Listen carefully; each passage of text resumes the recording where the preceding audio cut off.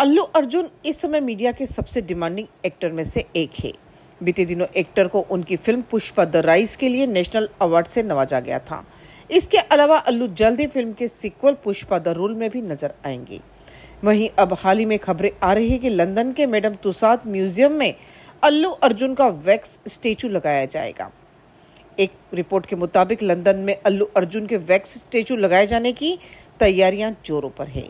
Statue तैयार होने के बाद अल्लू अर्जुन साउथ के चौथे सुपरस्टार होंगे, जिसका wax statue Madame Tussauds museum में रखा जाएगा।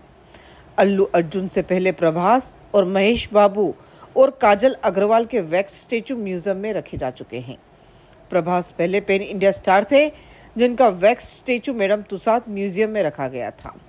मीडिया रिपोर्ट्स की माने तो एक्टर का नाम उन स्टार्स की लिस्ट में शामिल हो गया है, जिसका वैक्स स्टेचू तैयार किया जाएगा।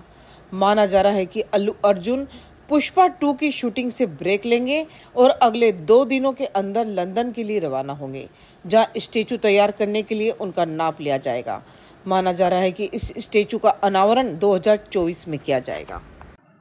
इसी के साथ बने रहिए एशिया न्यूज़ इंडिया के साथ। धन्यवाद।